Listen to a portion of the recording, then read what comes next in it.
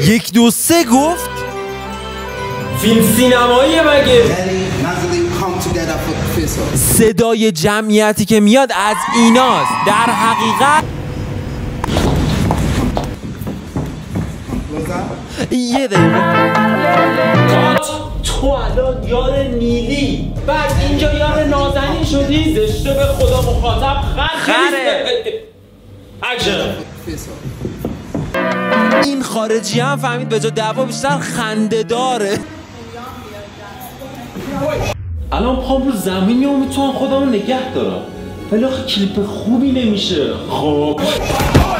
استوریای این. نشون بده چند چندی. ناموساً نمی‌ذارم نفس بکشی. رسول فالو کن. تو لندنی باکس ناو چیه؟ بعد دوام یه استوری ناناس میچسبه.